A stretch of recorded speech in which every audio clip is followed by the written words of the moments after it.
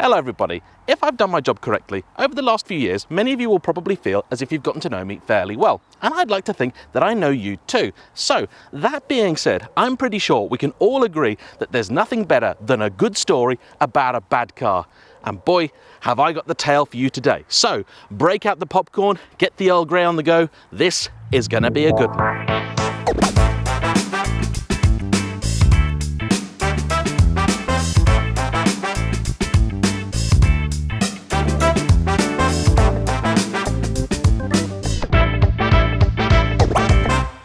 On the face of it, what we have here today is your average, ordinary, everyday Austin Maestro, a car that I'm sure will divide opinion, but it's also one that I'm entirely indifferent about, because by the time I was a teenager, they were essentially gone.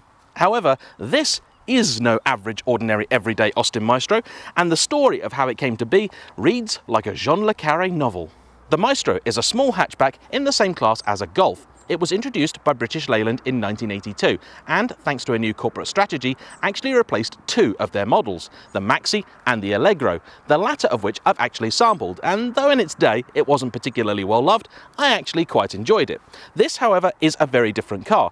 In place of the very trick Hydrogas suspension in the Allegro, this has conventional items, MacPherson strut up front and a torsion beam at the rear, which was equivalent to the Golf back then. Though it received a fairly warm reception from the press, early cars suffered build quality issues and Austin never had the best image.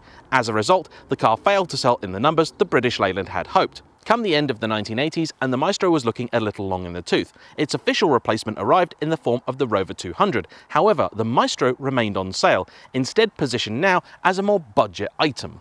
It was only in 1994, after 12 years of production, that Maestro sales were officially stopped. However, the car's story does not end there. Our plan was hatched to sell these cars in complete knockdown form to a company in Bulgaria called Rodacar, who would then assemble and sell them locally as a Bulgarian-made vehicle at a low price point. However, things didn't go quite so well. Though a number of kits were sent over and some assembled, very early on the deal was axed. So we had a whole bunch of kits here, unsold, a whole bunch of cars in Bulgaria without owners, and no one quite knew what to do. Happily, there were two companies here in Britain that could see a future for the good old Maestro. The first was a company called Parkway, based in a town called Ledbury. They bought the stockpile of some 600 kits that had never been sent over to Bulgaria and finished them off. These are not classified as an Austin or Rover product, instead they are officially kit cars and today are known as the Ledbury Maestros. This is not one of those. This is one of the vehicles which was exported to Bulgaria, assembled there but never retailed. A British company then re-imported them and they were sold on by a firm called Apple 2000 based out of Bury St Edmunds where I grew up and went to school. They were under no illusions that what they had on their hands was a very old car just with no miles on it and in fact the advertising campaign for them was based on the fact that's exactly what it was. You could still buy one of these, an Austin Maestro, new in 2001 for the princely sum of £4,299. When it comes to anything British Leyland, I will confess I am generally fairly clueless. If you want somebody that knows what they're talking about, I highly recommend Steph from Idriveaclassic, Ian from Hubnut, or Matt from Furious Driving, who coincidentally has also featured this exact car. What can I tell you though? Well, I believe all the Bulgarian market cars were made to the same specification, based on our Clubman trim but without the sunroof. Up front you will find a 1275cc A-series engine as seen in things like the Mini. It produces here 68 horsepower and is mated to a 5-speed gearbox from a Volkswagen van. You also got the suspension from the diesel model and very little in the way of creature comforts. There are disc brakes at the front, drums at the rear, windy windows all round and, as with any old car, you have a selection of about seven different keys. There is no power steering and it has about 50 turns from lock to lock. It was sold new in 1999, written off in the early 2000s, then for the majority of its life, some 16 years, owned by a painter decorator as his work vehicle. So if you were being polite to it, you would say it was heavily patinated. If you were being more direct about it, you might say what it says on the number plate. It now belongs to a lovely chap called William, who bought it earlier in the year when he went to go and get an alloy wheel refurbished, saw it, and then wound up purchasing it. I think we can all relate. The aim for this car is to essentially bring it back to good condition and simply enjoy it in the summer months. He works on the car himself and says that generally speaking, parts are cheap, provided you can find them. They're not quite as plentiful as I expected. In spite of its rustic aesthetic, he assures me that mechanically, it's actually quite good. So, let's take it out for a drive.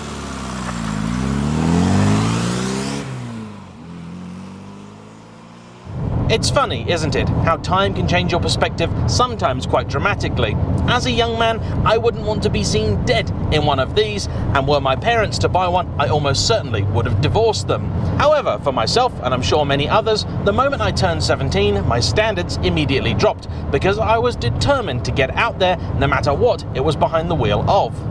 Today, just seeing something like this brings a real smile to my face. I love every time I see a classic on the road because there is a real live piece of history out about being used and enjoyed rather than tucked away in a glass case. To me, cars like this offer a real tangible connection to the past in a way that very little else can truly replicate. However, as you might imagine, for a car that is a 23 year example of a 40 year old design, there are a few things about it that are non-standard. Some of them are very much run-of-the-mill items, like the fact it now has a modern stereo in it, the aftermarket alarm system, which actually works, the headlining is on holiday, the aforementioned heavily patinated paintwork, and stuff like the radiator, which is not the original item, instead one from an earlier Maestro, because that was all William could find. Some items are slightly more unusual and concerning, like for example, the large large amounts of orange tape covering up some of the worst sections of corrosion. That, I am happy to tell you, is being tended to fairly soon. The car will shortly be coming off the road and over winter, a number of restoration items done.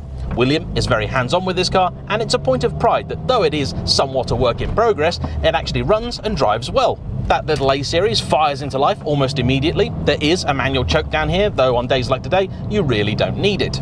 One item that's certainly not standard is the Mad Max style side exit exhaust, which looks rather mean but actually sounds very sedate.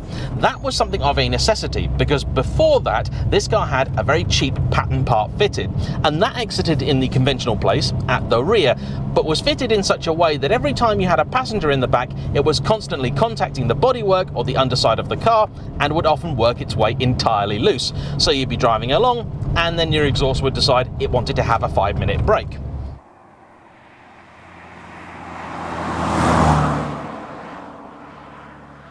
So then, as we're now approaching one of my favourite sections of road, let's find out what the good people of Bulgaria are missing out on.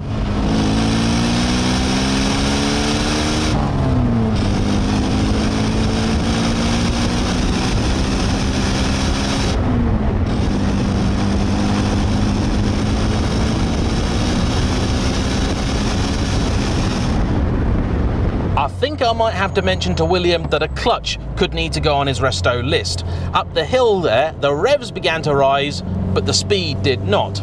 Truth be told, you do need to work this car reasonably hard if you want to keep up with modern day traffic. Thanks to that 5-speed gearbox coming from a van, the ratios are actually quite short, so keeping the engine on the boil is actually fairly easy. As it happens, the A-Series is a fairly interesting thing. It is a very old design, can trace its roots all the way back to the 1950s, so even in the 80s it was no spring chicken. Plans were already afoot for British Leyland to replace this engine wholesale back in the 1970s. However, when tested with its modern rivals, it was found it still compared favourably in terms of low-end torque and fuel economy. As the world was still reeling from an oil crisis, and I think we can all relate to that now, it was decided that actually an economical and torquey engine was probably the best thing. So 30 million pounds was spent in upgrading it and refining it to turn it into the A+, which is what this has. It is also worth remembering that this isn't perhaps quite as outlandish as it may seem, because back in 2000 you could also still buy a brand new old Mini.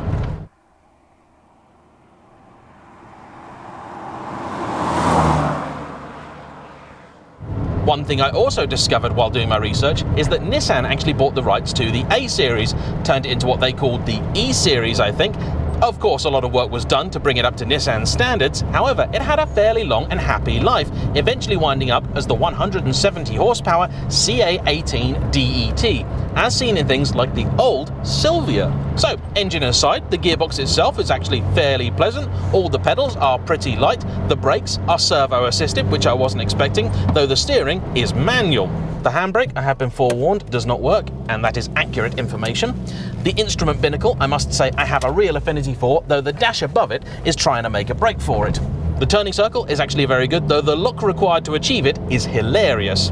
The reason I'm quite so fond of this instrument display is not just because of its elegant simplicity, but the fact that when I was a child, my grandfather actually gave me a part of an old British Leyland Dash to play with. I don't believe it was quite the same as this, but is very close because I do recognise it. I think I've got it in my garage still, so I'll put a picture up of what I'm talking about. As you might imagine, it does roll a fair bit. Ride comfort is very good, despite the fact this moved to the conventional suspension from the old Hydrogas and actually works fairly well. One oddity of this gearbox is that when you go from third to fourth, it doesn't feel like you're doing that. It feels like you're doing that. Actually, that's not very helpful for you. All right, it doesn't feel like that. It feels like doing that. So you feel when you're going from third to fourth like you're actually being diverted over into second. That's very disconcerting the first time you do it. You're also constantly going for a non-existent sixth or seventh gear because you'll drive along like myself, go, oh, this is revving a little bit, I'll change up. Oh, I was in fifth already. Okay, all right, fair enough. I'll just uh, carry on then.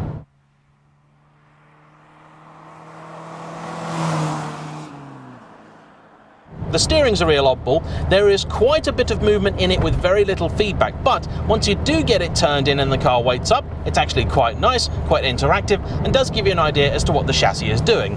Which is never really all that much, because I think press on even remotely hard, and this car will just lay down and roll over. Not literally, I hope, but it's not exactly sporty. There were sportier versions of the Maestro, including the fairly cool and mean looking MG Maestro Turbo, which I would love a go in, because I reckon that's quite a thing.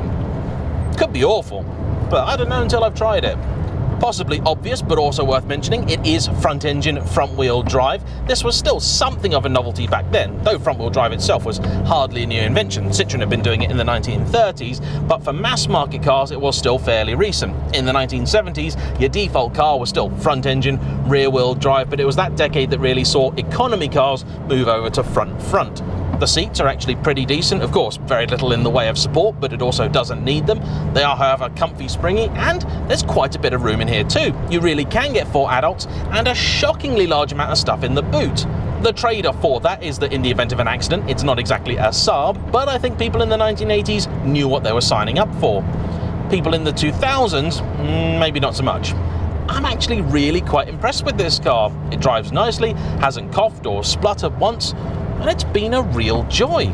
I wouldn't want to take this anywhere near a motorway, that frankly would be quite terrifying, but if your daily commute is this kind of stuff, 50, 60 mile an hour B roads, then it's a very, very pleasant car. It's actually reasonably well insulated, wind and road noise, not that bad at all. Parts, when you can find them, are quite cheap, and happily, not everything is difficult to get, though some bits are. Of course, just about everything about the interior of this car doesn't scream luxury, but that's the whole point of it. It was built as a cheap car in the 1980s, was a really cheap car in the 1990s, and then by the 2000s, well, they're practically giving them away. 4,000 quid wouldn't have got you a lot even then. The closest modern day equivalent really would be something like a Dacia, because though they have put some effort into disguising it, a lot of that range is actually reheated, rather old Renaults. But then, there's nothing wrong with that if you're looking to buy a very cheap car. Like just about everything, these are no longer the cut price bargain that they were. The days of being able to pick a car like this up for 50 or 100 quid are very much long gone. Now you're looking at at least many hundreds of pounds, if not thousands, for a car which has had a lot of work done. I'm talking there about the Maestro in general, rather than the reasonably rare Apple 2000 example, though I do have something of an affinity for this on account of the Bury St Edmunds connection. To get into one of these cars now, I would say you do require some sort of love for it. It's not the sort of thing I could recommend someone buy just on a whim, like William did, but for those who are willing to put up with what it is, I would actually say this is probably a fairly easy classic to live with. And it's one that I'm very happy to say I have now experienced and quite enjoyed. I suppose the best thing you could say for it is that now, as when new, it does offer an interesting alternative at a lower price to a VW Golf, which now may actually wind up being the easier and cheaper car to maintain. So then, that's a drive in an Austin Maestro Apple 2000. A huge thank you to William for bringing it out, and as ever, to you for watching. Don't forget to hit the like button, comment down below, subscribe if you haven't already, and I'll see you for the next one. Bye-bye.